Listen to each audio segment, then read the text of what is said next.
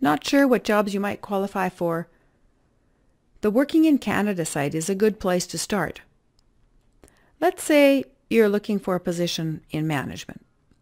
Highlight all the management skill boxes and the analysis skill boxes. Then click on View Results.